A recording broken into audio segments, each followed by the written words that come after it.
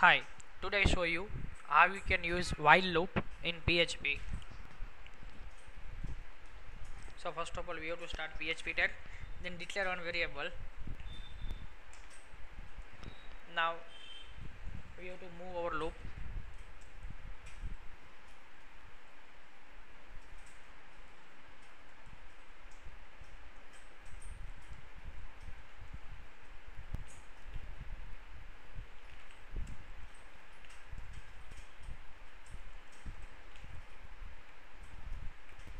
and here we have to print dollar $a value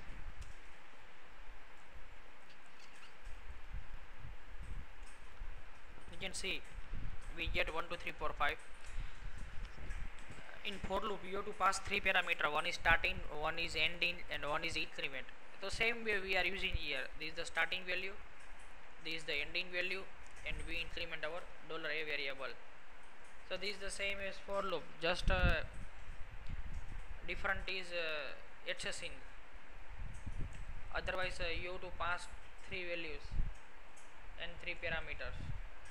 Thank you